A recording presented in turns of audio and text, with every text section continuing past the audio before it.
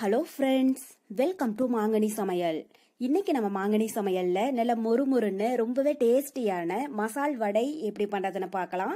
மசால் வடை அப்படின்னாலே நம்ம எல்லாருக்கும் ரொம்ப ரொம்ப பிடிக்குங்க. அதுவும் ஈவினிங் டைம்ல டீ காஃபி கடியெல்லாம் சாப்பிட்றதுக்கு ரொம்பவே அட்டகாசமா இருக்கும். இது பண்றதும் ரொம்பவே ஈஸி தான் டேஸ்ட்டும் ரொம்ப ரொம்ப நல்லா இருக்கும்.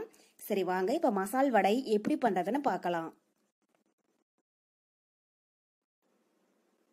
மசால் வடை பண்ணுறதுக்கு ஒரு கப் கடலைப்பருப்பை மூணு மணி நேரம் நல்லா ஊற வச்சு எடுத்து வச்சுருக்கேங்க. கண்டிப்பாக கடலைப்பருப்பை ரெண்டுலேருந்து மூணு மணி நேரம் நல்லா ஊற வச்சுடுங்க. அப்போ தான் வடை வந்து ஹோட்டல்ல எல்லாம் சாப்பிட்ற மாதிரி நல்லா மொறு மொறுன்னு கிறிஸ்பியாக இருக்கும். பாருங்கள் கையில் எடுத்து கிள்ளி பார்த்தீங்கன்னா நல்லா சாஃப்டாக இருக்கணும். அந்தளவுக்கு நல்லா ஊற வச்சுக்கோங்க. இப்போ இதை கொஞ்சம் கூட தண்ணி இல்லாமல் வடிச்சு எடுத்துடலாம். ஒரு ஜல்லடை வச்சு வடிங்க அப்போ தான் தண்ணி வந்து சுத்தமாக வடிஞ்சு வரும்.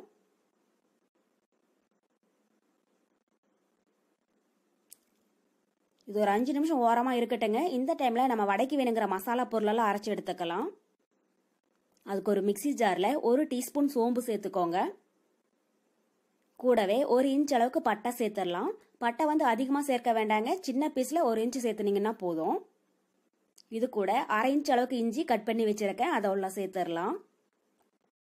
கூடவே மூணு பல் பூண்டு சேர்த்துக்கோங்க. இது கூட காரத்துக்கு ரெண்டு காஞ்ச மிளகாய் நான் குட்டீஸ் எல்லாம் சாப்பிட்றதுனால ரெண்டு காஞ்ச மிளகாய் தாங்க சேர்த்துருக்கேன். நீங்கள் வந்து மூணுலேருந்து நாலு அளவுக்கு சேர்த்துக்கோங்க. அப்போ தான் காரம் கரெக்டாக இருக்கும். இப்போ இது கூட கொஞ்சமாக உப்பு சேர்த்திட்டு தண்ணி எதுவும் சேர்க்காம நைஸாக அரைச்சி எடுத்துக்கோங்க. பாருங்க இப்போ நல்லா நைஸாக அரைச்சாச்சு. நம்ம மசாலா பொருளையெல்லாம் ஃபஸ்ட்டு இது மாதிரி அரைச்சிட்டு செய்கிற போது தாங்க இது நல்லா மையும். கடலைப்பருப்போட சேர்த்தோம்னா இது வந்து சரி வர மையாது. இப்போ நம்ம தண்ணியெல்லாம் வடித்து எடுத்து வச்சிருக்கிற கடலைப்பருப்பை உள்ளே சேர்த்துடலாம். இப்படி வந்துடும் இப்போ கடலைப்பருப்பு உள்ள சேர்த்தியாச்சு. தண்ணி சேர்க்காம கொஞ்சம் கரகரப்பாக இருக்கிற மாதிரி அரைச்சி எடுத்துக்கோங்க. நைஸாக இருக்கக்கூடாது. கரகரப்பாக ஒன்றும் பாதியமாக அரைச்சிடுங்க பாருங்க இது மாதிரி கடலைப்பருப்பு அங்கங்கே ஒன்றும் பாதியும் இருக்கிற மாதிரி அரைச்சி எடுத்துக்கோங்க. அப்போ தான் வடை வந்து நமக்கு நல்லா முறு முறுன்னு டேஸ்டியாக இருக்கும். அதே மாதிரி தண்ணியும் சேர்க்காம அரைச்சிக்கோங்க. நம்ம வெங்காயம் போட்டு பிசைறும் போது அதுக்கு நமக்கு சரியாக போயிடுங்க. இப்போ இதை வேற ஒரு மிக்சிங் பவுலுக்கு மாற்றிடலாம்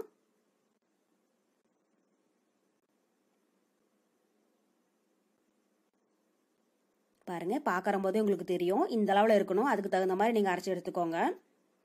இப்போ இது கூட நல்லா பொடியாக கட் பண்ண ஒரு பெரிய வெங்காயம் சேர்த்துடலாம் கூடவே பொடியாக கட் பண்ண கொஞ்சம் கருவேப்பிலை அப்புறம் பொடியாக கட் பண்ண கொஞ்சம் மல்லி இலை.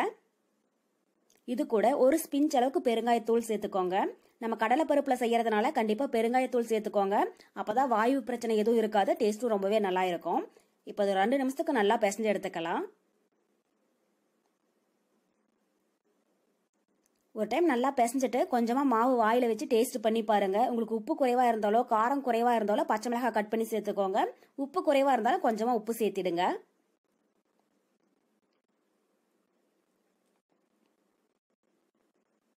பாருங்க இப்போ நமக்கு மாவு ரெடி ஆயிடுச்சு. இதில் சின்ன சின்ன உருண்டையாக உருட்டி எடுத்துக்கலாம்.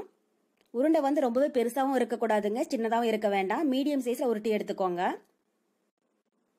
நமக்கு மீடியம் சைஸ் வடையா இருபதுலேருந்து இருபத்தஞ்சு வடை கிடைக்குங்க. பெரிய சைஸ் வடையா பிடிச்சிங்கன்னா கண்டிப்பாக பதினஞ்சு வடை அளவுக்கு இருக்கும். அதனால இந்த சைஸ் இருந்துச்சுனாலே போதுங்க. அப்போதான் உள்ளேயும் கடலைப்பருப்பு நல்லா வெந்து வரும். பாருங்க இதே மாதிரி எல்லா மாவையுமே உருட்டி எடுத்துக்கோங்க.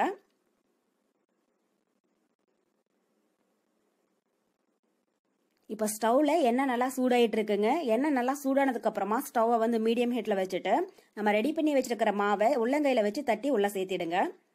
ரொம்பவே மெலிசாக இருக்கக்கூடாது. கொஞ்சம் மொத்தமாக இருக்கிற மாதிரி தட்டி சேர்த்துக்கோங்க. எண்ணெயும் ரொம்ப சூடாக இருக்கக்கூடாதுங்க. மீடியம் ஹீட்டில் இருக்கிற மாதிரி பார்த்துக்கோங்க. அப்போ தான் உள்ளேயும் வடை நல்லா முறு முறுன்னு வெந்து வரும். ரொம்பவே சூடாக இருந்துச்சுன்னா சீக்கிரமாக கலர் மாறிடும். உள்ளே வந்து வடை சரி வர வெந்திருக்காது.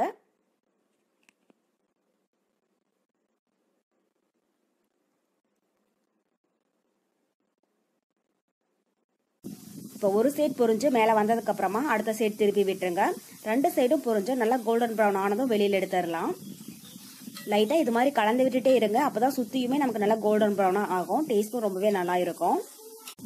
மசால் வடை பண்ணுறது ரொம்ப ரொம்ப ஈஸி தாங்க. கடலைப்பருப்பு மட்டும் ஒரு மூணு மணி நேரம் ஊற வச்சுட்டோம்னா அதுக்கப்புறம் ஒரு பத்து நிமிஷத்தில் டக்குன்னு செஞ்சு முடிச்சிடலாம். டேஸ்ட்டும் ரொம்பவே சூப்பராக இருக்கும். வீட்டில் எல்லாரும் ரொம்ப ரொம்ப விரும்பி சாப்பிடுவாங்க. பாருங்க இப்போ வடை ரெண்டு சைடும் நல்லா புரிஞ்சு கோல்டன் ப்ரௌன் ஆயிடுச்சு.